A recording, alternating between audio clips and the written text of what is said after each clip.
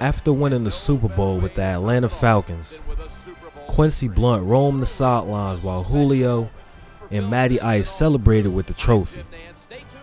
He thanked everybody there. Burner Turner, Roddy White, Willie Moe, They the D-line, everybody. But Quincy started thinking, what if he chose a different path in high school? What if he didn't choose to, to play football? I mean, you know he athletic. He could have been a, a skateboarder. Alright, probably not that. But since he had the size, maybe he could have been a wrestler. Nah, maybe the other type of wrestler.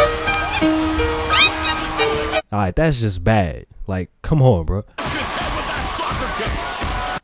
What what about basketball? Música de Harry. That's ridiculous, but Quincy Blount chose the right thing, and that was to stick to playing football. Relive Quincy Blount's last high school year, a season with a lot of devastation and determination. Straight out of Wall Street, in the street we trust. I'm out.